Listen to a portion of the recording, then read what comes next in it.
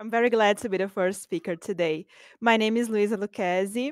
I'm a postdoctoral researcher at the University of Pittsburgh, and today I'm going to present to you how the spatial sampling procedures affect the quality of data-driven models.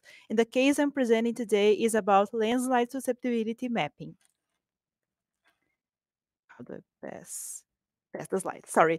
So it's about landslide susceptibility mapping. Landslide susceptibility mapping is a classification problem because you need to classify the areas into susceptible or non-susceptible to landslides. To do this, you need two types of samples in order to do data-driven models.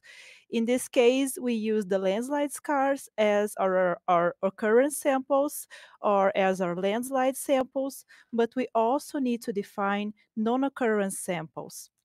So we do we did three types of non-occurrence samples, uh, three options. So the first one is to pick these non-occurrence samples close to where the occurrence samples uh, naturally occur or, or, or they landslides previously happened.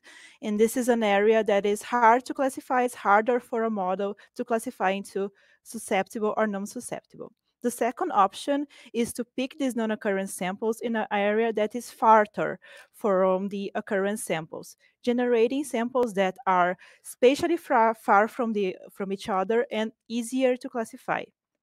And the third option is a mix of both. So we did train our artificial neural networks, and the resulting landslide susceptibility maps are as follows. So for the hard to classify samples, we get an OK map.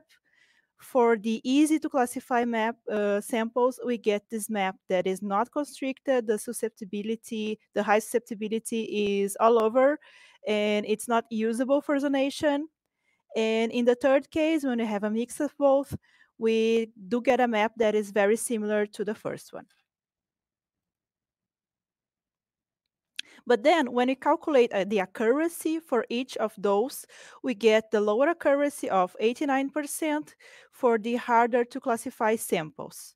Because the model, it needs to train more in order to in order to make this model because the samples are harder to classify, but they also being evaluated more harshly what happens thank you what happens in the second case is that you have easier to classify samples because they are spatially far from each other and in this case you get 100% accuracy but the model doesn't have to train really hard to get to this 100% accuracy. That's why the map isn't as great and in the, in the third case, what you get is that the model trains really hard, but when you evaluate this model, you're putting these easy to classify samples within the mix of samples, and then you artificially uh, upper your uh, your accuracy. So the important message is that metrics can be tweaked in spatial context. Do not chase better metrics, chase better models. Thank you.